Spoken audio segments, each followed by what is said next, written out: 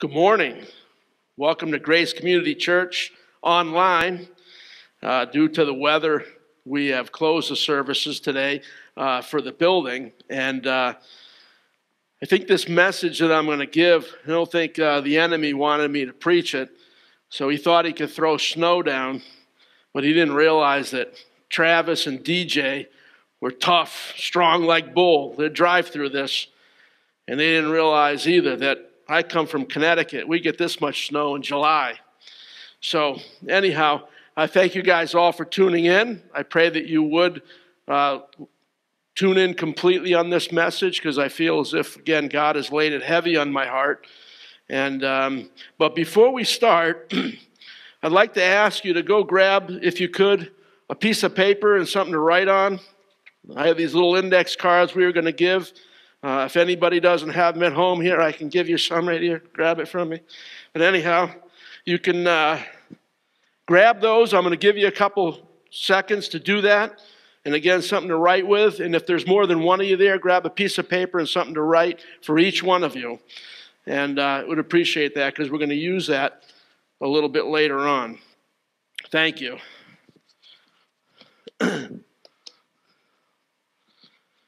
While you're getting that,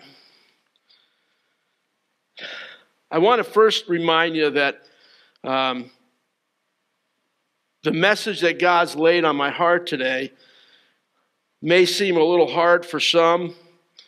Some may even get a little offended, and I, I apologize for that up front, but I know that Jesus uh, was never concerned about that. He was more concerned about getting the truth out. And so uh, that's what I plan on doing this morning, is getting the truth out. But I also want to remind you that we are saved by grace. And so even these things I talk about, grace is the overlying thing that covers us all when we receive Jesus as our Savior. And um, but there's still things in the Bible that he talks about that um, that are consequences if we don't obey, even though we may be saved. Sometimes uh, people will tell you, very often, people tell you, you don't talk about politics in church. They don't mix. And um, I don't find that in my Bible. I find actually that, uh, that politics is all through the Bible. Even the first five books of, the, of Moses are called the law. And uh, through those were the Jewish leaders who were also the spiritual leaders, but they were also the political leaders. They're the ones who made the law, and, and the law was supposed to be based on God's law. Uh, but they were also the ones that enforced the law. And when you look at politics, that's really all it is. When we think of our government, the three branches of government, we think of the fact that there is a judicial branch, an executive branch, and there's a congressional branch, and each one of those branches has something to do with the law. The congressional branch will actually uh, write the laws. The executive branch will either sign it into law or deny it. Um, and the judicial branch will be the one to interpret whether or not it's a legal law um, based on the Constitution. So um, I believe that uh, we see the same thing with the Sanhedrin, which was the Jewish leaders back then. And, uh, and they did the same thing. They enforced the law, they wrote and added to the law based on God's law. And so we're going to touch on that a little bit um, because of what's been going on in this country. Normally, I, I wait until I'm asked to preach, and uh, um, you know, I might be 20th down the list, you know, kind of like the third or fourth page on a Google search, which is fine. But at the same time, this is the only time I've ever asked to preach. I felt like God was laying it on my heart, and I felt like God was saying, I want you to do it now because of everything going on in our country. We're seeing censorship like we've never seen before, in my days, anyhow. And, uh, we're seeing a cancel culture right now that is trying to wipe out history and change it and rewrite it. And, uh, but we need to remember what the history was of this country and where it came from and why God, I believe, why God blessed it in the past. I mean, we're even seeing things like the censorship of a guy who makes pillows. And, and uh, I saw recently that there are a bunch of stores that have banned his pillows. And I sit there and they were saying, and they Twitter took them off too. And you say, well, why? Why is a pillow guy, my pillow or Mr. Pillow, Mike Lindell, his name is, why are they pulling his stuff off? Why is he a threat to, twit- to Twitter? And then it occurred to me if there's a third world war, and if it's not done with guns and bombs, or it's not a chemical warfare or a cyber warfare, maybe it'll be a really large pillow fight.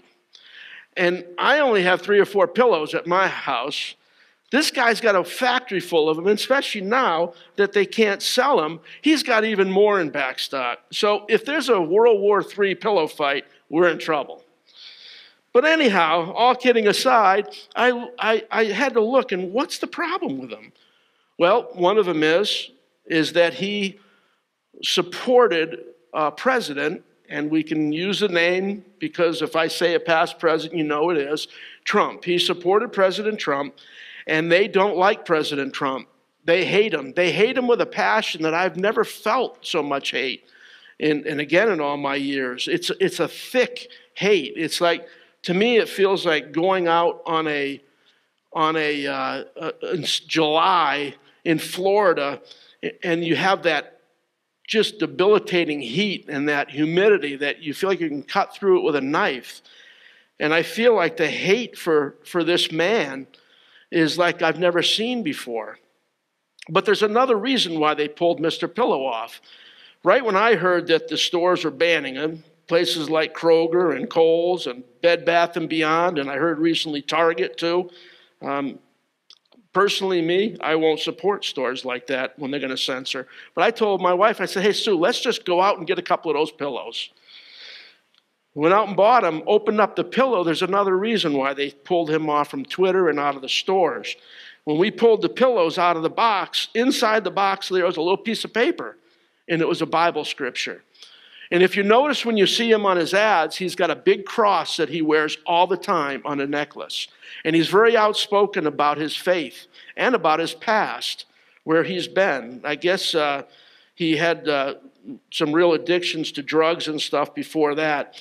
So, this is what's happening in our country that I've never seen happen so much before as now. And it's time that we as Christians and this message is going to be geared mostly to those of you who claim to follow Jesus, to claim to know him, claim to put, have put your trust in him. Because I believe it's up to us to get spiritually built up. We need to body build our spiritual lives. And that's hopefully what I'm going to be able to help you with today and help myself with today. But before we do that, let's open up in a word of prayer. Heavenly Father, I just thank you for this time. I pray, Lord, that, that, that I would be moved aside and that you would speak through me. I pray, Lord, that uh, any truth that you want spoken, I'll speak, and I'll do it without fear and without worry of consequence. But, Lord, that none of the words that I speak will be my own. I pray they're yours. Lord, we love you and we give you the praise and we lift this up in Jesus' name. Amen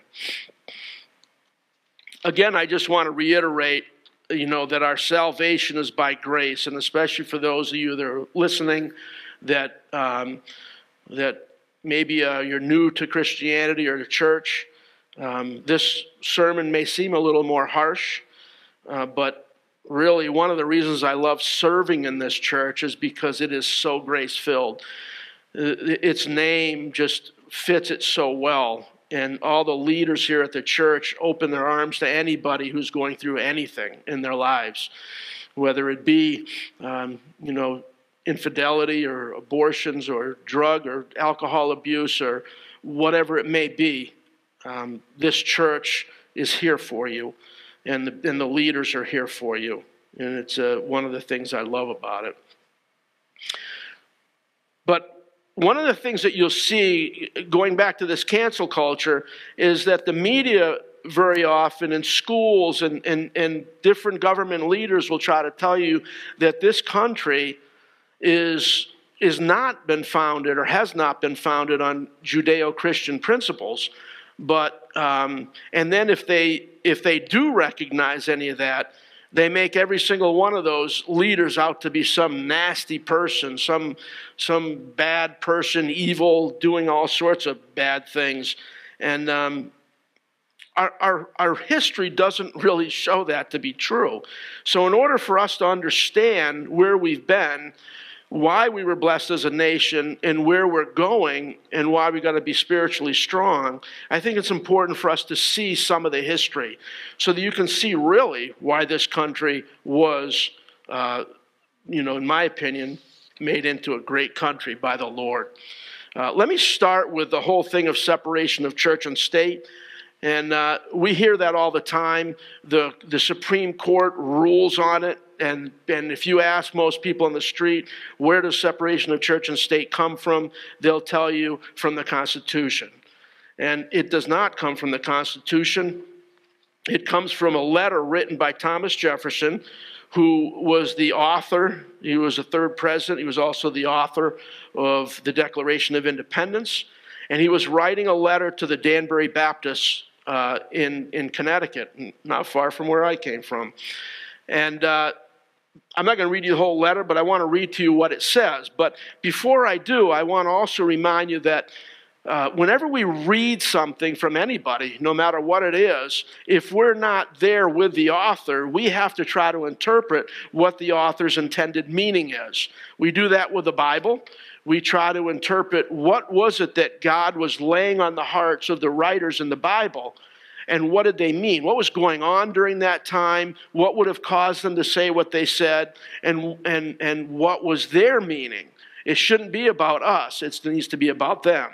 So, what we need to know is on this letter, when it was written, and the founding fathers and the forefathers that we had, they came from a place, they came over from England where religion was run by the government. The government was telling them how to worship, where to worship, everything about worship, and literally people could be actually, um, uh, you know, killed for for believing something that wasn't part of what the government told them to believe. So when they come over here, they didn't want the government to be part of religion.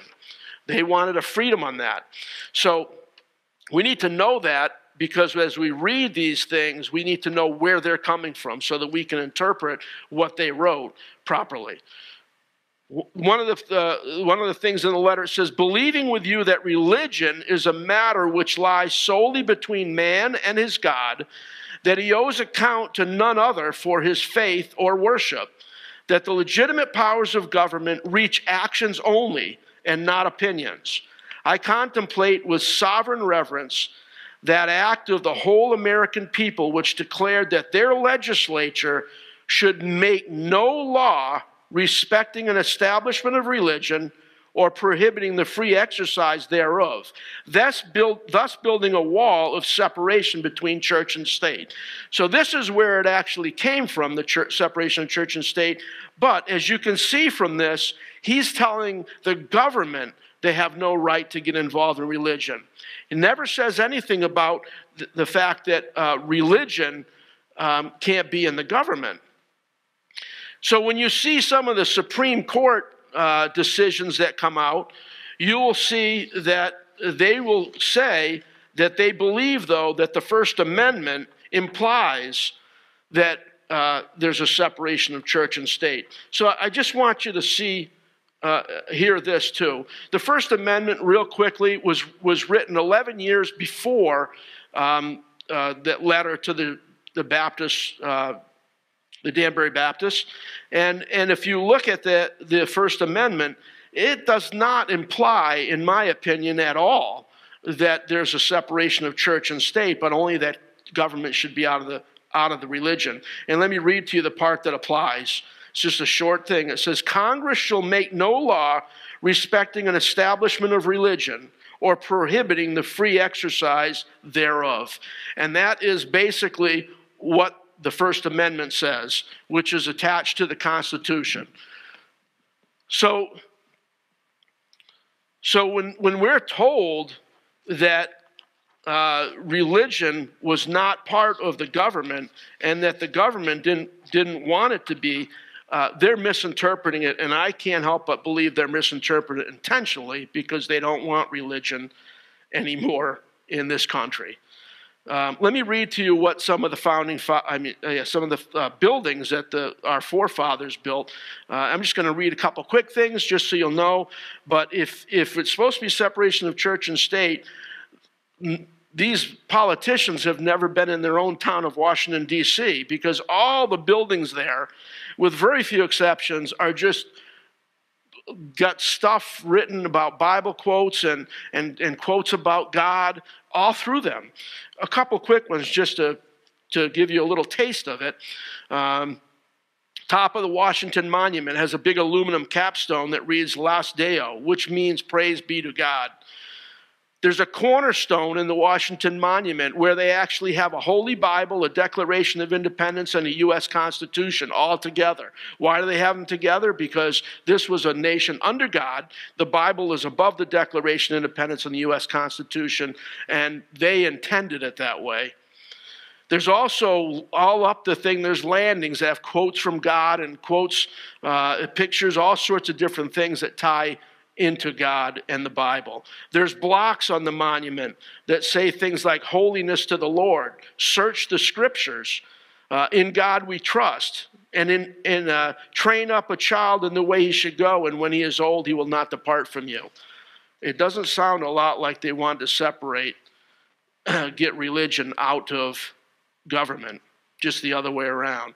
The Capitol the Capitol building has stuff all over it too. There's uh, in the rotunda. There's eight pictures. Four of those pictures have religious paintings, huge ones. One of them with a monk kneeling on the ground, with somebody uh, uh, pounding in a crucifix behind him.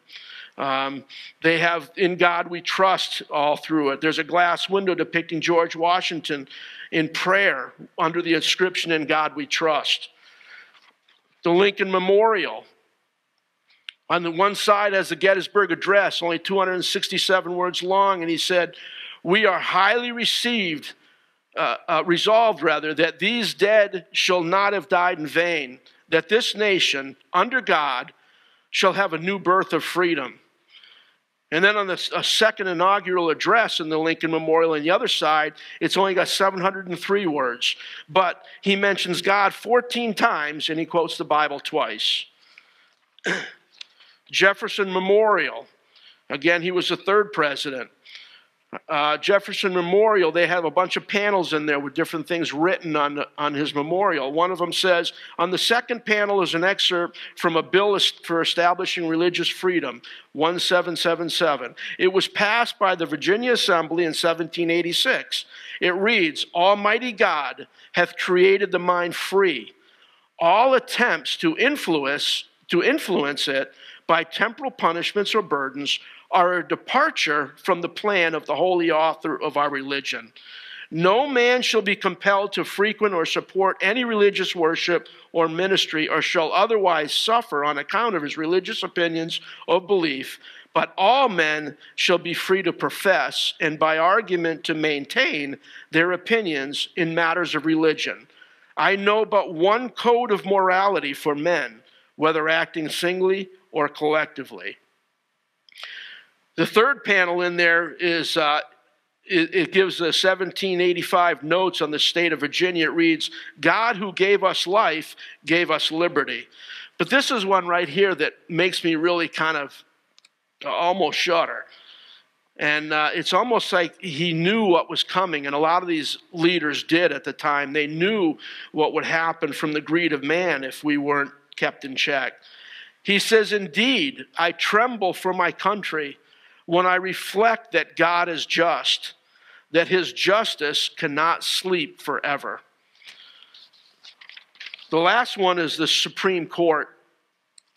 And uh, ironically, the Supreme Court is the same court that is making decisions about prayer out of school, and they came up and ruled that the Ten Commandments in, in, in, classrooms and in schools is unconstitutional. They did this years ago. They even came up with something saying, uh, with the state of Kentucky when they took it to court, that it's unconstitutional for it to be in their courts in Kentucky. The amazing thing is, though, the Ten Commandments is all through the, the uh, Supreme Court. Um, if you look at it, um, they have, uh, in, they, there's a, in the building, there's several images of Moses with the Ten Commandments. These can be found at the center of the sculpture over the east portico of the Supreme Court building, inside the actual courtroom. And finally, engraved over the chair of the Chief Justice is the Ten Commandments, and also engraved on bronze doors on the Supreme Court itself is the Ten Commandments. Um, seems a little ironic that um, these people say that there's a separation of church and state. One last thing I want to read before we get into some scriptures is what some of the past presidents said. We're going to just do a few of the early ones. We'll start with a couple quotes from George Washington. One of the things he said is It is impossible to rightly govern a nation without God and the Bible. He also said the propitious smiles of heaven uh, can never be expected on a nation that disregards the internal rules of order and right, which heaven itself has ordained. The second president, John Adams, wrote We recognize no sovereign but God, and no king but Jesus. The fourth president, James Madison, we have staked the whole future of American civilization not on the power of government, far from it. We have staked the whole of our political institutions upon the capacity of mankind for self government upon the capacity of each and all of us to govern ourselves according to the commandments of God. The future and success of America is not in this Constitution, but in the laws of God upon which this Constitution is founded. The fifth president, James Monroe, before any man can be considered as a member of civil society, he must be considered a subject of the governor of the universe. And to the same divine author of every good and perfect gift, we are indebted for all those privileges and advantages, religious as well as civil, which are so richly enjoyed in this favored land. The last one I want to read to is from Andrew Jackson. He was the seventh president. He said, and by the way, this is just a small uh, sampling of the many, many different quotes in these buildings and from these these past leaders. Andrew Jackson says, Finally, it is my fervent prayer to that Almighty Being before whom I now stand, and who has kept us in his hands from the infancy of our republic until the present day, the present day, that he will so overrule all my intentions and actions and inspire the hearts of my fellow citizens that we may be preserved from dangers of all kinds and continue forever a united and happy people.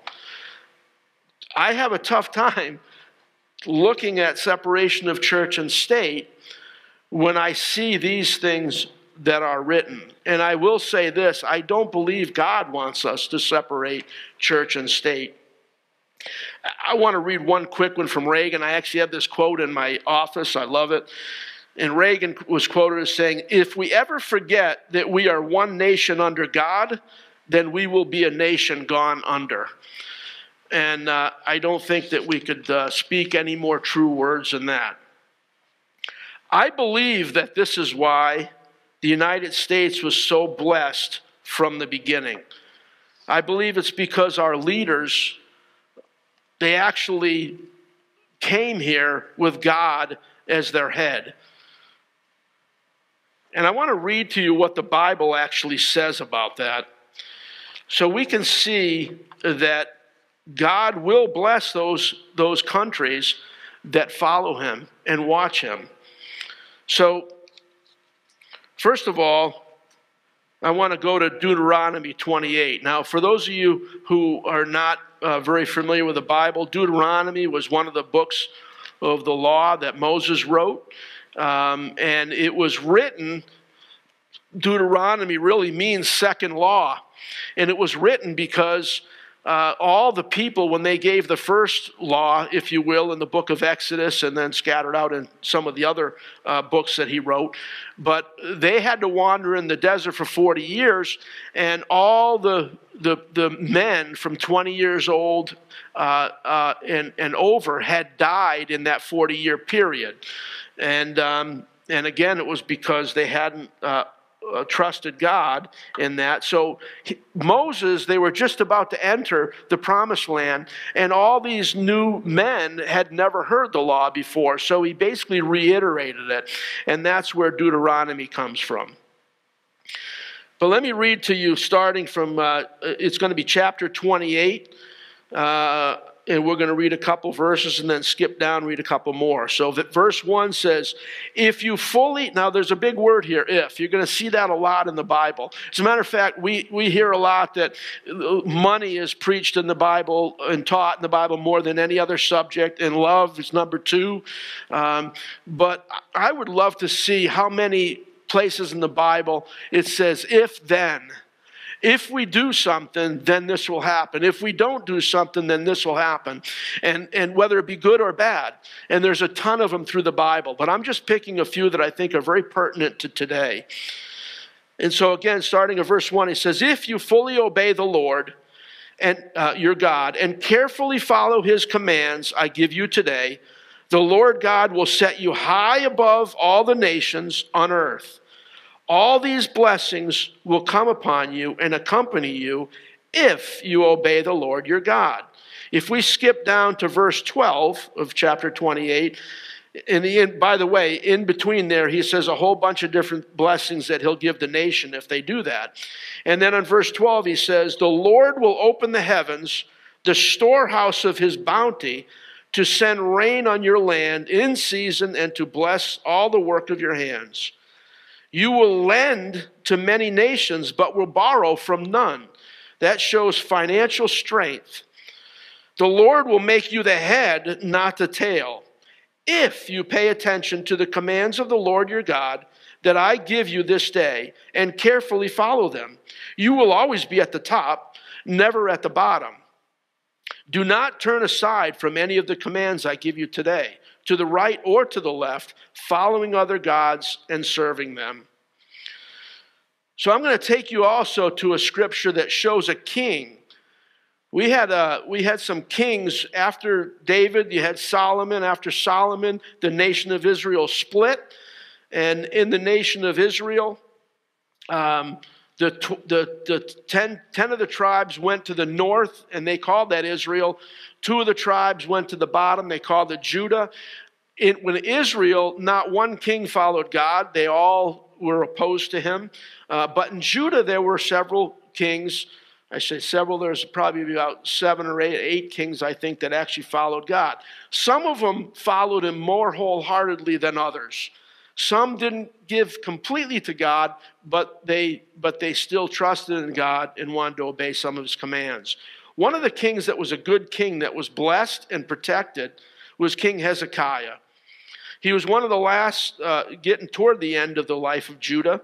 And at the same time that he was king, Israel, the northern part, was actually taken over by an Assyrian king. And Assyria was the world power back then. So I'm going to start in chapter 18. I'm going to read verses uh, uh, 1 through 8. It says, In the third year of Hoshea, uh, son of Elah, king of Israel, which was again the northern tribe, Hezekiah, son of Ahaz, uh, became king of Judah. He was 25 years old when he became king, and he reigned in Jerusalem 29 years. His mother's name was Abijah, daughter of Zechariah.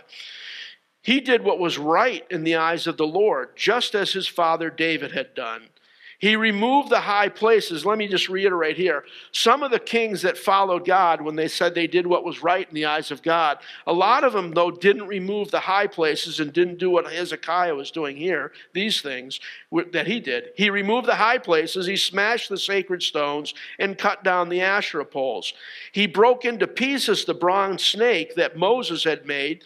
For up to that time, the Israelites had been burning incense to it. So it's, it, it was called Neshustan, Nehushtan, something, somebody stands. Anyhow, Hezekiah trusted in the Lord, the God of Israel. There was none like him among the kings of Judah, either before him or after him. He held fast to the Lord and did not cease to follow him. He kept the commands of the Lord, the, the Lord's, uh, he kept the commands the Lord had given Moses. And the Lord was with him, and he was successful in whatever he undertook. He rebelled against the king of Assyria. King of Syria was, a, again, a world power, very, very powerful, took over all the countries around it. And little Judah, just a piece of Israel, which is already small, Assyria couldn't take over because God's hand was in it. And he says, uh, The Lord was with him. He was successful whenever he undertook. He rebelled against the king of Assyria and did not serve him. From watchtower to fortified city, he defeated the Philistines as far as Gaza and its territory. Uh, I'm not going to read any further on it, but if you read into the story too, you'll see that Assyria actually came and surrounded Judah, this massive army, and they mocked God. And, and Hezekiah prayed, and God, you'll see how God delivered the people of Judah. It's pretty incredible. Why? Because he followed the Lord and he, he gave his, he put his trust in, in God. But what happens if we don't do that? What happens if we walk away? And there's so many examples in the Bible of Israel going back and forth between following him and not following him, and things going bad in their country versus things turning around in their country. And they're based on uh, whether or not the leader is following the Lord. So let's read a couple scriptures. Let's go um, back to Deuteronomy. And we just read where in Deuteronomy it said that we would be a, when we're strong, we would be a, uh, a lender to nations, a borrower from none, and that we would be the head, not the tail, if we follow God. Let's see if we don't. Verse 15 starts, however, if, and here's that big word again, if you don't obey the Lord your God and do not carefully follow all his commands and decrees I am giving you today, all these curses will come upon you and overtake you. Then he goes through all the list of things that were on the previous page uh, uh, about the blessings, and he gives the opposite. And we're going to we're going to go down uh, below that to uh, verse 43 43 and 44. And here he says, as he finishes going through the list of curses, he says, The alien who lives among you will rise above you higher and higher, but you will sink lower and lower. He will lend to you, but you will not lend to him. He will be the head, but you will be the tail. These are the things that happen when we don't follow the Lord. Let me give you an example now of a king. He was actually the final king uh, in Israel before Israel was taken over by Assyria. Um, and so I'm just using him as uh, the example because he's not the worst king in Israel, by the way, and they'll say that here, but he, he, was, he definitely did evil in God's sight. It says, uh, verse, uh, chapter 17, I'm sorry, of Second Kings, verse 1. We're going to read through that through 1 through 7. It says, In the twelfth year of Ahaz, king of Judah, Hoshea, son of Elah, became king of Israel and Samaria. And he reigned nine years. He did evil in the eyes of the Lord, but not like the kings of Israel preceded him. Shalmaneser, king of Assyria, came up to attack Hoshea, who had been Shalmaneser's vassal and had paid him tribute. But the king of Assyria discovered that Hoshea was a traitor, for he had sent envoys to So, king of Egypt. And so and, and he no longer paid tribute to the king of Assyria, as he had done year by year. Therefore Shalmaneser seized him and put him in prison. The king of Assyria invaded the entire land, marched against Samaria, laid siege to it for three years, in the ninth year of Hoshea, the king of Assyria captured Samaria and deported the Israelites to Assyria. He settled them in Halah, in Gozan, and Habor River, and the towns of the Medes. So he scattered them all around. Verse 7 says, All this took place because the Israelites had sinned against the Lord their God.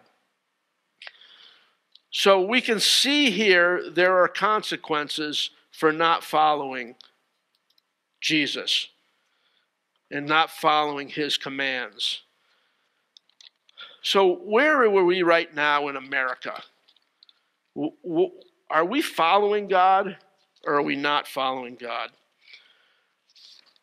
I want to I want to uh, just talk about some of the things that have happened in the past uh, 100 years or so. And we can look at history even back to the 18, late 1800s where we could see starting some things starting to come into play that were showing that there were some leaders that were trying to break away from God and get our country to, to not follow God. Uh, but it seems as if the early 1900s is when it really seemed to uh, start taking hold. Some of the big events, real quickly, are 1933, FDR um, had people, had Americans bring in value, uh, bring in gold that was valued $100 or more and turn it into the Federal Reserve. Um, and they would get a uh, money for it. But one of the things that a lot of people don't realize, the Federal Reserve is not part of the federal government. The Federal Reserve is a, a private bank run by private citizens. It's, it's regulated by the federal government, but it's actually not part of the federal government. And so what happened is the Federal Reserve was basically lending money, in a sense, to America. So we would turn in gold, they would hold the gold, and they'd print out money. Before that time, if you look at old dollar bills and stuff, it says silver certificate on the top of it. Silver certificate means that there's a piece of uh, silver or gold or some precious metal somewhere being stored that you own because that certificate is showing you that you own a dollar of it. There's actually a net worth to that piece of paper. After this took place, um, that, that went away. And now it says on the top of a dollar bill, Federal Reserve note, which just means it's a promise to pay. Uh, there's no value to it. If things fell apart, you couldn't go claim some gold in a in a in a uh, building somewhere. And what had ended up happening is our national debt went up 50% in 3 years from doing that from 22 billion to 33 billion which is nothing compared to what it is today but it continues to climb like crazy today uh, to the point where it's approximately $28 trillion, our debt. So, to put that in, some people think, oh, it's a number, whatever, just we can't really grasp it. Let's put it into context a little bit. That means that every person in this country owes $84,000 individually to make it even a little more kind of hit home, I just put down a family of five. My wife and I had three kids. They're all on their own now, but a family of five owes $421,500. So you'd think with that kind of debt on a family of five, there's probably a pretty nice second home they have somewhere or something, but that's not the case. It's just a debt that's owed. Some of the things that have happened uh, since 1933 also that have continued moving our country away from God. Prayer was removed from school in 1962. Evolution is, was being taught as the only way, no longer really a theory from 1968 on. There were a lot of debates, even in the late 1800s, where people were trying to get uh, Darwinism in, but it was defeated. But 1968 was really when it became um, really illegal to teach creationism anymore. Um, 1973, abortion became illegal. Um, and we know was that 35 or so million people in this country. 34% of the countries in, in the world now have legal abortion, and most of the countries on there are big. So, population wise, I'm sure it's well over 34%. And the list goes on and on and on. So, what we see going on in our country right now is blatant lies, things that are trying to turn us away from God. And I'm not saying this to put fear in anybody. I'm saying this so that we as Christians can be ready. We need to be strong during this time. We need to be able to know what God's saying, what God's telling us, and we need to know how to be able to handle ourselves when we're going to be persecuted. We haven't seen that in this country, and it sure seems like it's heading that way. Some of the things that we're seeing, like there's no prayer in public schools, but they still do open up uh, Congress and certain things like that in prayer. So recently, there was a prayer uh, for the opening of the 107th Congress, which just happened on January 4th this year. And a representative, Emanuel Cleaver of Missouri, he's the one who did the prayer. And then he ended the prayer by saying, Amen and a woman. And we sit there and think he's trying to be gender specific. And he thought he was pretty clever. But I will tell you this first of all, he doesn't really believe that there's such a thing as gender specific, so I'm not really sure why uh, he has to say amen and a woman. Maybe he should just say a when he finishes his prayer. I don't really know. But I want to read you Galatians 6 7. It says, Do not be deceived. God cannot be mocked. A man reaps what he sows. And I will tell you that this politician, Emanuel Cleaver, he just sowed something I don't think he really wanted to sow. And I don't think he's aware of what he really sowed. The other thing about evolution being taught in the schools now and being the only way is again, if we believe that if we believe that that the Bible is God's written word, and most Christians do, most people who profess Christ to be their Savior, believe that the Bible is God's word, written without error um, in its original manuscripts. And and so uh, the argument of evolution versus uh, create, uh, you know, creation uh, is, is one in the very first sentence of the Bible. Because in Genesis 1 1, it says, In the beginning, God created the heavens and the earth. End of story. If we believe that uh, again, this is God's word, then that is the end of the story. Abortions, and I want to reiterate on this. I don't want to sound as if I'm coming down on people that have abortions. Uh, most women that I know that have had them are hurting inside on it. And it's not the unforgivable sin. It is something that God can forgive just like any other sin, like my sins, like other people's sins.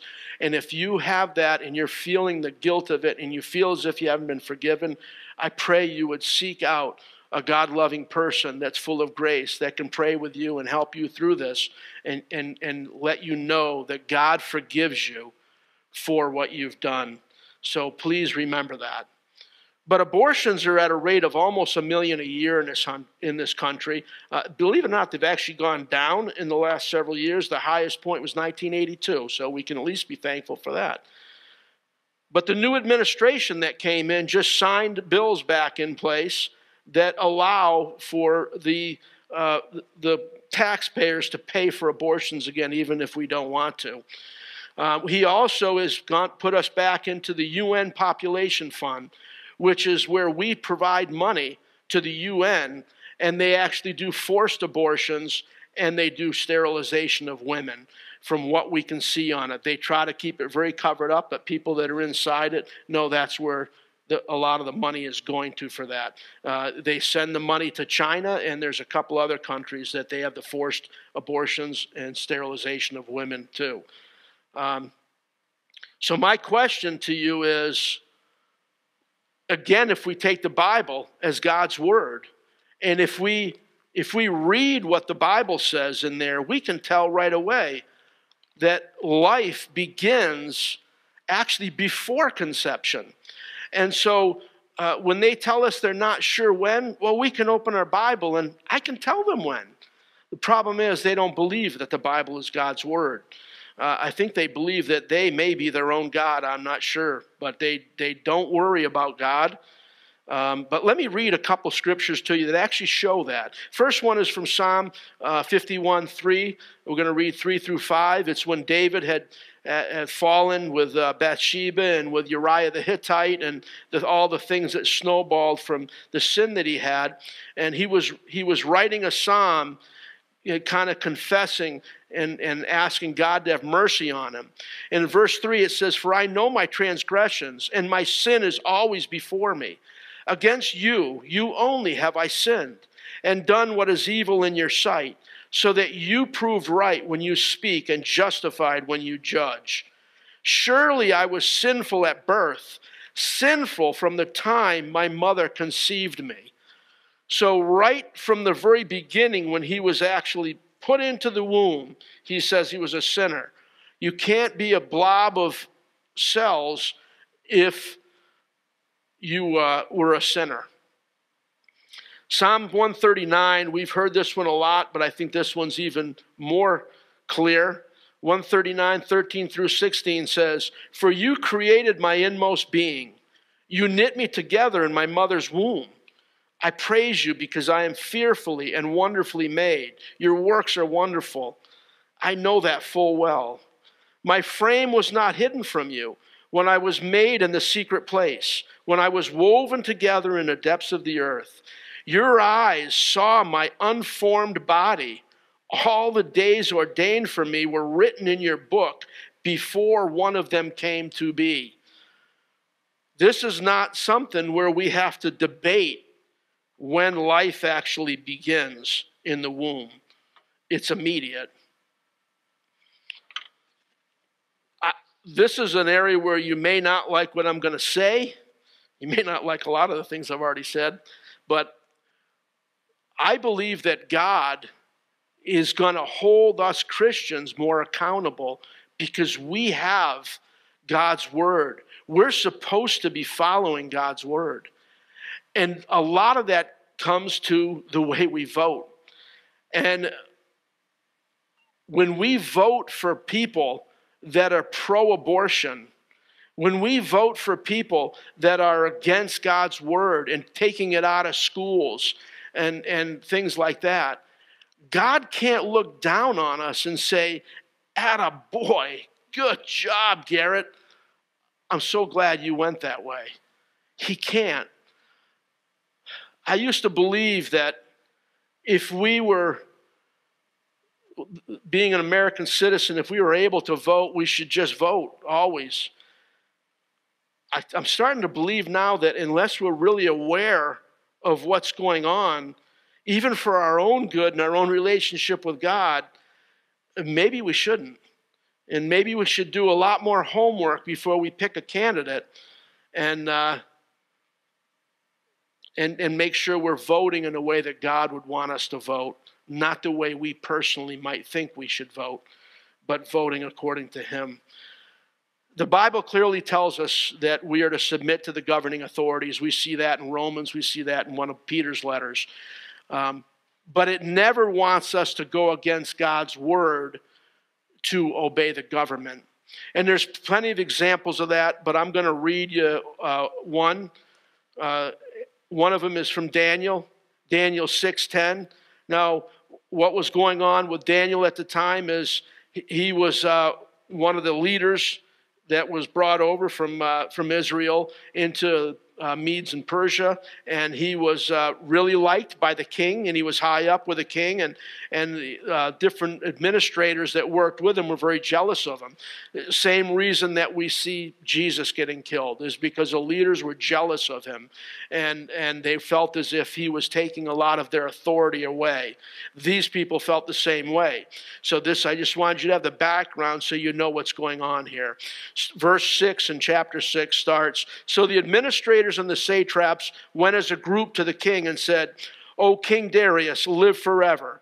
The royal administrators, prefects, satraps, advisors, and governors have all agreed that the king should issue an edict and enforce the decree that anyone who prays to any god or man during the next 30 days, except to you, O king, shall be thrown into the lion's den. Now, O king, issue the decree and put it in writing so that it cannot be altered in accordance with the laws of the Medes and the Persians, which cannot be repealed. So King Darius put the decree in writing. Now, when Daniel learned that the decree had been published, he went home to his upstairs room where the windows opened toward Jerusalem.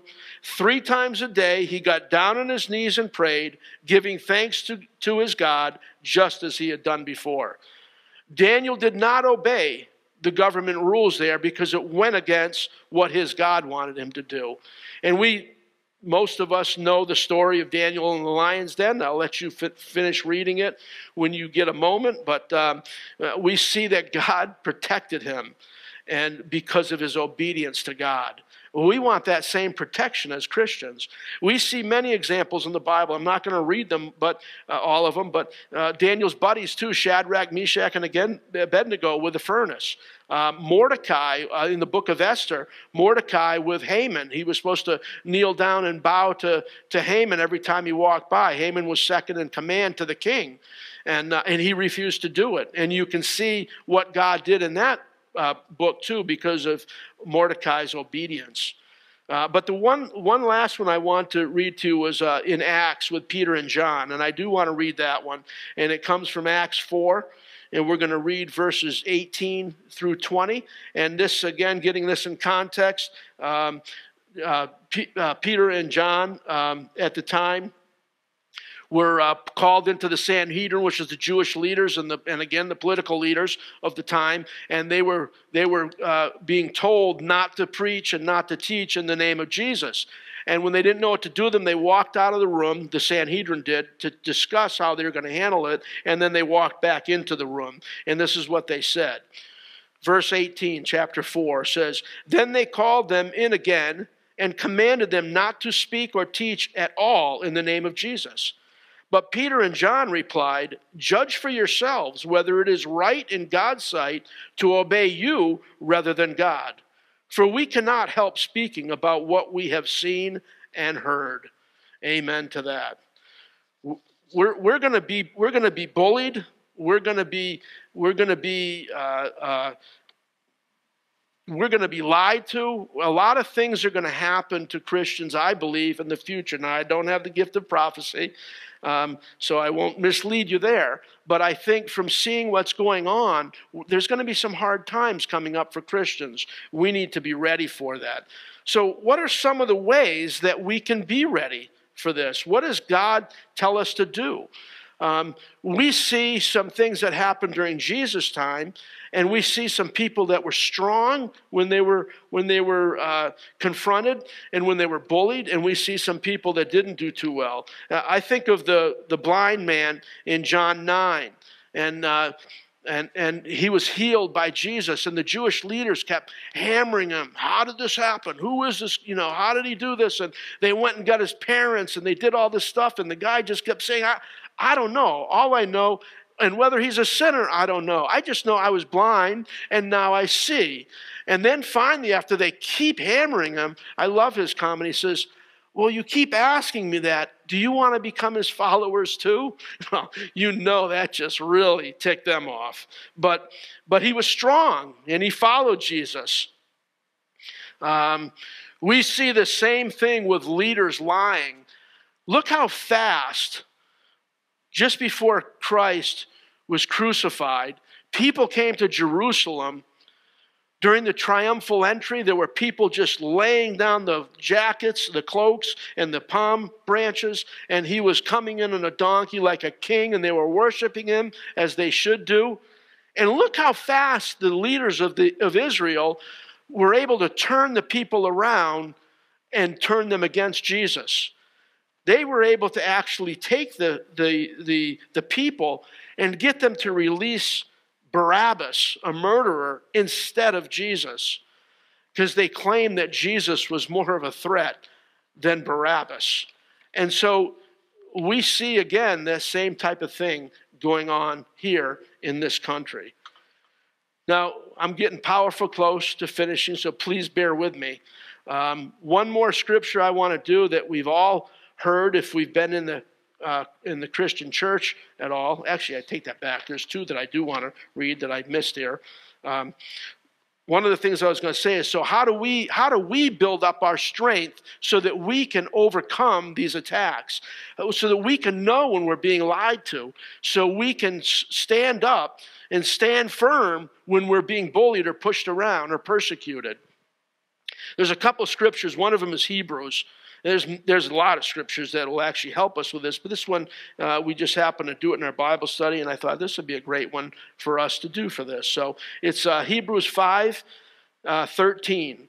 And, and the, the author of Hebrews is speaking to the, the, the, uh, the people, and, and they're, they're believers that have been believers for a while, but they haven't grown in their faith. And unfortunately, a lot of us, I think, are that way too. We, we come to know the Lord, we, we're excited about knowing Jesus, and then we kind of just stay stagnant and we don't move on. And a lot of that's our own fault as churches because we don't take people under our wings and start discipling them. And, and we really need to do that right now, especially now. But this is what he says to these that, that are uh, uh not mature in their faith. He says to them, Anyone who lives on milk, being still an infant, is not acquainted with the teaching about righteousness, the word. But solid food is for the mature, who by constant use have trained themselves to distinguish good from evil. How do you train yourself? By staying with God, by being in His Word, by being in prayer, by getting together with brothers and sisters in Christ and growing. That's how we train ourselves. It's not a one time thing. We can't go to the gym, go in there, pump some iron, do an aerobics class, and then walk out and say, I'm glad that's done. I don't have to worry about that anymore. It's a constant thing. We have to keep developing those muscles and keep working on it. There's another thing that, uh, that, that was predicted by Isaiah. And he says back then, I'm going to read it to you. It's uh, Isaiah 5, verses 20 and 21. And this is what he says in there Woe to those who call evil good and good evil, who put darkness for light and light for darkness, who put bitter for sweet and sweet for bitter. Woe to those who are wise in their own eyes and clever in their own sight. One of the things we're seeing right now in this country is evil is being told as good. Abortion's a perfect example. Abortion is being taught as a good thing. It's, it's for women's health, it's for women's rights. And anyone's against it is evil. There's endless stories and examples, I should say, of how it's getting twisted evil for good and good for evil. And Isaiah predicted it 700 years before Christ even came. So we have to watch for that. How do we do that? Being spiritually in shape. I want to uh, leave you with one more scripture briefly and then have an exercise for you with that piece of paper. I hope you all grab that piece of paper and something to write with um, because I'm going to be asking you to to, uh, to do a little something, take a little action. But one of the things is Psalm 33:12 is very clear what it says in the beginning. It says, Blessed is the nation whose God is the Lord. And so, if we want to be blessed again, whether God ends up blessing this nation again or whether it goes a different direction, it's important for us as Christians to turn to Him and give Him 100%. And one of the scriptures we've, again, if you've been in church, that we've, you've probably very familiar with, uh, but we're going to touch again because, again, I think it's so pertinent, and it's Second Chronicles 7.14. Second Chronicles 14 is... Uh, in context, it was during when Solomon built the temple and they were dedicating it. And so there was some things that were said during the dedication. And uh, I'm going to actually start, it's verse 14 is the one we're used to, used to, but I'm going to start from verse 11. It says, When Solomon had finished the temple of the Lord and the royal palace, and had succeeded in carrying out all he had in mind to do in the temple of the Lord and in his own palace, the Lord appeared to him at night and said, I have heard your prayer and have chosen this place for myself as a temple for sacrifices. When I shut up the heavens so that there is no rain, or command locusts to devour the land, or send a plague among my people, if, here's that word again, if my people And again, it's his people. He's not asking the, those that are not part of him at that time. He's saying, My people, the Israelites back then. And we can look at that today as the Christians today. He's asking the Christians, if my people who are called by my name were called Christians, which is called by the name of Jesus Christ, that's where it comes from if they're called by my name, will humble themselves and pray and seek my face and turn from their wicked ways, then I will hear from heaven and will forgive their sin and will heal their land. The cool thing here is God's asking us to do four things as Christians. And he promises to do three in return if we if we do those four. The four things he asks is first we have to humble ourselves. We have to realize it's not about us. It's not about what we feel. It's not about our strengths. It's not about uh, any of the actions that we can take. It's about Him. We need to give that over to Him and humble ourselves and realize it's not us. Then we got to pray. We need to pray to Him. Not our own little prayer we want, not praying while we're doing laundry or, you know, uh, making dinner wholeheartedly, we need to pray. We need to humble ourselves. We need to pray. We need to seek His face and nothing else around us. We need to seek His face and we need to turn from our wicked ways. And if we don't think we have wicked ways, I would just say maybe ask your spouse or, or a kid or a parent or a friend to show you some of the wicked ways you have. I'm sure they have a long list. We all have wicked ways. We all have things where we walk away from the Lord. We're to turn from those. And this is something that, again, we don't do this just once. We have to continue to do this, continue to humble ourselves, continue to pray, continue to seek His face, continue to turn from our wicked ways. But then He promises three things for us if we do that. He says, I will hear from heaven He's going to hear us. We see in other places of the Bible where if we're not walking with the Lord, eh, one of the letters of Peter mentions it too, our prayers are hindered. So if we're turning ourselves like this to Him, He hears us. Our prayers are heard. Then He says He forgives the sins. What an awesome thing to happen. What a way of pulling that sin and that weight off from us. Again, going back to things like abortion and addictions and different things like that, He can forgive that. But then he says he'll heal the land. He will heal the land that we're, that we're in and that we're living in. So I'm going to ask you to grab that piece of paper and that pencil. And I'm going to first tell you, I've already done this myself because God laid this sermon on my heart for me to share. He definitely wanted me to share it, but He also is saying, Garrett, you got areas in your life where you're not 100% with me and you need to start working on them. And I guarantee as I work on them, He's going to give me more, and that's okay. We're not to be in a comfort zone right now. We're to be ready to go out there and take action and get closer to God and be ready for whatever it is that He knows is coming. So take that piece of paper. I want you to take a minute. I want you to write down the first thing God is laying on your heart. Don't put a million things because you'll never do it. Do one, maybe two on there and start with that. Take that piece of paper. Do not lose that piece of paper and do not just throw it in the corner. If God's laying it on your heart, He wants you to do it. And again, if you feel like there's, you know, you know, I can't think of anything that I need to improve on, uh, if Mother Teresa and Billy Graham were still alive today, and if I went up and asked them the same question, I guarantee they would just keep writing. They'd have a list so long, I'd have to finally stop them. And I can promise you, there's very few of us who are as godly as Mother Teresa and Billy Graham are. So there's definitely some things that we can work on. This is not a, a, a, punishment type thing. This is not a you're a bad person. This is something that should be a conviction to help us grow closer to the one who loves us, us who is teaching us how to love others and to love him too. We should want to do this. So I, I, pray that you would do it. Again, don't not do it, do it. Um, and then and then write it down. Put down the pride, lift up the pencil and, and, and do this. Um, I'm going to close us in a word of prayer, but again, I'm going to ask you please don't neglect this.